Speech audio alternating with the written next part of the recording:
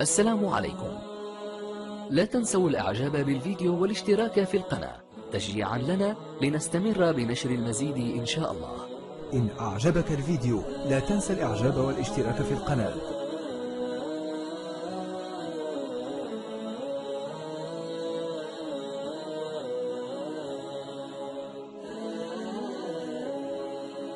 السلام عليكم. لا تنسوا الإعجاب بالفيديو والاشتراك في القناة. تشجيعا لنا لنستمر بنشر المزيد إن شاء الله. السلام عليكم ورحمة الله وبركاته. عليكم السلام. أهلا. آه، عمي قريبان أهلا سيدي مصطفى. كيف داير سيدي؟ كلشي بخير؟ مرحبا. تسمعني؟ كان سمعك مزيان سيدي مصطفى. الله يرحم والدين على هذا البرنامج. ديالك راه ديما تنطلي الله يجازيك بخير. بارك الله فيك مولاي. الله يحفظك. يا مولاي أختي قريبان الله يرحم الوالدين على هذا على هذا السويد. ديالك الله يجازيك بخير. اللهم أمين أخويا بارك الله فيك. أنا الجاج ملي تنتك في الراديو تن في الجاج مزيان بارك الله فيك مصطفى. الله يرحم لك الوالدين. جزاك الله ألف خير مولاي الله يجازيك بخير. الله يزيد الايمان يا ربي يا ربي. سيدي وبغيتك تدعي معنا الله يرحم الوالدين على هذا الوفاء. يا علينا. كاملين على المسلمين. اللهم أمين اللهم أمين يا رب.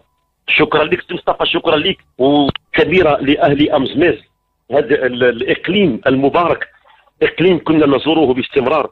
إقليم جميل لكنه يعاني من ضعف في التنمية الاقتصادية والاجتماعية والبنية التحتية وأناسه طيبون والمسؤولون فيه يقومون بمجهود كبير لكن لا يتوفرون على آليات الاشتغال. ورغم كل ذلك هذا الإقليم لما كنا نزوره خصوصا في بعض ل- دور الطلبة والفتيات الصغيرات وكذلك بعض الأسر المعوزة والمرأة القروية.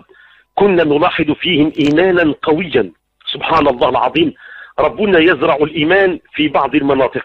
من بينها إقليم أمزمز. فيهم إيمان قوي وابتسامة عريضة على طول. وفيهم قناعة بالقليل. قناعة قليل يقنعون به.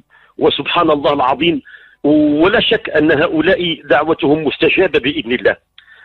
سيدي مصطفى لا شك أن الوباء ديال كورونا خلق هاجسا عند الكثير من الناس وقد صار وباء عالميا منذ شهور. ليس مغربنا الحبيب فقط العالم بأسره. الدول العظمى الدول المتقدمة صارت الآن واقفة بعجز أمام هذا الوباء وهذا الفيروس الصغير جدا الذي لا يرى بالعين المجردة. ولكن رغم كل الظروف ورغم كل الملابسات نقول كلمة بسيطة جدا وهو أن المؤمن لا يخاف إلا من الله. المؤمن لا يخاف ولا يخشى إلا من الله. هذا الفيروس هذا الحقيقة ديالو ماذا؟ حقيقة أنه جندي من جنود الله يختبر به عباد الله. اختبار فقط.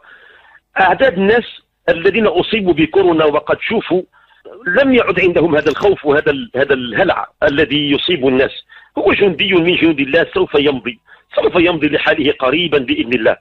وفي هذه المناسبة السعيدة مناسبة المولد النبوي الشريف لا شك أننا سوف نكثر جميعا من الصلاة والتسليم على مقام رسول الله لأن الصلاة على النبي تجعل الملائكة تحف بالمكان. وقد جاء في الحديث ما من مجلس يصلى فيه على النبي إلا ورائحة طيبة أطيب من المسك تتصاعد حتى تبلغ عنان السماء. فتقول الملائكة هذا مجلس يصلى فيه على النبي. فتحف الملكة المجلس. فاللي خاف من فيروس كورونا ما عليه إلا أن يصلي على النبي. ماذا يقع له؟ المكان الذي يمكث فيه يصير طاهرا مطهرا. المكان اللي انت فيه كيصبح نقي وكيصبح طاهر وكيصبح سليم ويزول كل الخوف من الخطر. اما من وقعت له فيروس كورونا ما عليه إلا أن يصلي على النبي كثيرا وسوف يتبخر هذا الفيروس من جسده كما يتبخر الماء الذي هو فوق النار. يتبخر لا يبقى منه أي شيء.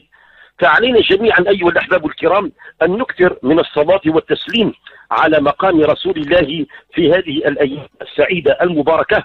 ويكفي أن الإنسان يستحضر في ذهنه ما يريد. أيها الأحباب التغيير والإصلاح له قواعد وله أصول وله آليات وله استراتيجيات وله منهجيات يعلمها الخبراء. لكن الذي يغفل عنه الكثير من الناس.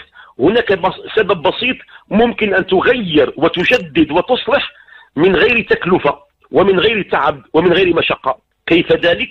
بالإيمان الصادق واليقين بالله ثم تتوسل إلى الله بأحب شيء إليه. أحب الأشياء إلى الله هو أسماؤه الحسنى وصفاته العلى. وأيضا من أحب الأشياء إلى الله الصلاة على النبي المصطفى. ونحن هذه الأيام نحتفي بذكرى مولد خير خلق الله. كل واحد منا ضرته في حاجة نفسه أو عنده احتياجات معينة ولا يستطيع الوصول إليها وتبدو له أنها بعيدة المنال أقول له جازما أقوله له يقينا ليس فيها أدنى ذرة شك وهي أن الإنسان يوطد إيمانه بالله ويقول يا رب يا رب ويصلي على النبي الكريم. اللهم صل وسلم على خير خلقك سيدنا محمد ويتقدم إلى الله بطلباته. والله وبالله وتالله أقسم غير حانث بأن ربنا إذا أعطاك أدهشك. لا يعطيك الله عطاء عاديا. إذا أعطاك أدهشك. هذا الكلام أيها الأحباب الكرام عشناه طوال هذه المدة مع عدد كبير من الناس. هناك أناس تعرضوا لبلاء شديد. هناك من تعرض لبلاء كورونا هو وأهله ودويه. وهناك من تعرض لبلاء الفقر الشديد والديون المتراكمة. وهناك من تعرض لأمراض وأسقام وعيدا خطيرة. وهناك من تعرض لأمراض نفسية حتى صار يفكر في الانتحار. وهناك من تعرض للحيرة والشك حتى كاد أن يقع في الشرك أو في الإلحاد. ولكن لما جمعنا هؤلاء الناس وقلنا لهم وطنوا أنفسكم اذكروا الله رب العالمين. أكثروا من قولكم لا إله إلا الله. صلوا على سيدنا رسول الله. نرفع أكفنا إلى الرحمن. وبقينا هكذا لأيام معدودات على رؤوس الأصابع. بعد ذلك لما كنت أزورهم والله حياة الجميع قد تغيرت. تغيرت. والتغيير يكون على قدر إيمان الشخص. وعلى قدر يقينه بالله عز وجل. فاطمئنوا أيها الأحباب لا تخافوا ولا تحزنوا. إن رحمة الله واسعة وإن رزقه كثير وإنه يتنزه في ملكه يفعل ما يشاء. وكل في الأمر أن هذه مجرد اختبارات. الله تعالى يختبر. فمن نجح فله الأجر والثواب الجزيل ومن فشل فربما قد تأتيه دورة استدراكية. نسأل الله السلامة والعافية. شكر الله لك يا أخي مصطفى وبارك الله فيك وحفظ الله وإياكم من هذا الوباء ومن شر الداء وبارك الله في إقليم أمزمز. آمين يا رب يا كريم. السلام عليكم. لا تنسوا الإعجاب بالفيديو والاشتراك في القناة. تشجيعا لنا لنستمر بنشر المزيد إن شاء الله.